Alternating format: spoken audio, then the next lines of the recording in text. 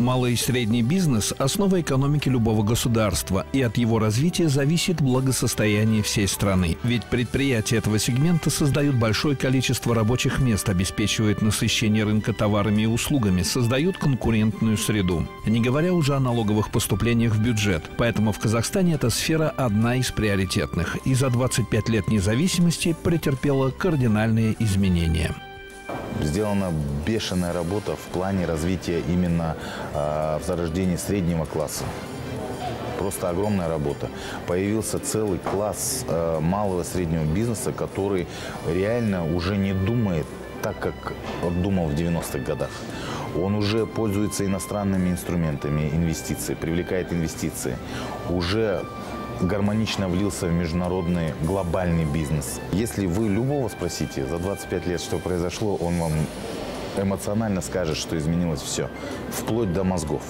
Сегодня на долю малого и среднего бизнеса в Казахстане приходится около 25% ВВП, а количество действующих предприятий в этой сфере достигает почти полутора миллионов.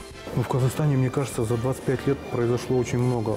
Э, в плане развития малого, среднего бизнеса, крупного бизнеса государство сделало все, что возможно. То есть даже сделало все, все, что невозможно, мне кажется. То есть аналогов в мире нет. Если взять нас, как бизнесменов, малый, средний бизнес, как производителей, э, то условия, даже если по таможенному союзу взять, самые лучшие у нас. Это меньше НДС, меньше КПН, куча преференций и поддержка э, инновационной деятельности. Результат – именно небольшие предприятия первыми осваивают новые ниши бизнеса и приносят в Казахстан инновации. Казахстан обладает большим потенциалом в плане э, создания новых бизнес-направлений, новых продуктов, а также обладает большим научным потенциалом. Привлекают отечественных предпринимателей зеленые технологии. Это уже позволяет решать конкретные экологические проблемы Казахстана начали искать, смотреть, анализировать мировой опыт, все, что есть в мире.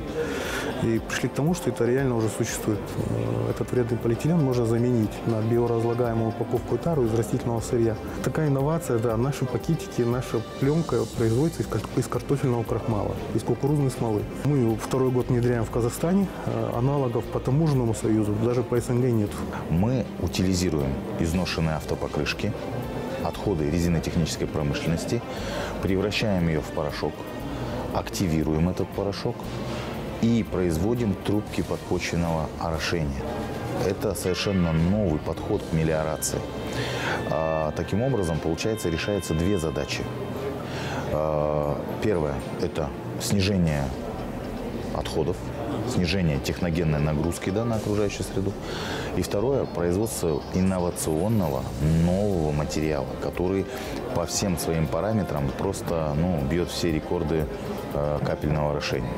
Большое внимание уделяют предприятия и социальным программам, принимают на работу людей с ограниченными возможностями, помогают многодетным семьям, детям-сиротам. Поддержку в этом направлении им оказывают и общественники. Мы, как общественная организация, в том числе занимаемся работой с предпринимателями, с инвесторами. Э, в этом году у нас есть такой проект, он называется «Твори добро». И этот проект нацелен на э, популяризацию принципов социальной ответственности и предпринимательства. Мы, э, как бизнесмены, понимаем свою ответственность и заботимся о тех людях, которые работают на нас. То есть на нас работают разные люди не знаю, которые с ограниченными там всякими возможностями, способностями, и которые там, не знаю, какие-то срока, может быть, отсидели. А, ну, то есть неважно, мы не делим кого-то там, ты такой, а ты такой. Если ты хороший специалист, э, у тебя будет работа, и мы позаботимся о тебе. Отечественный бизнес сегодня – настоящая опора государства.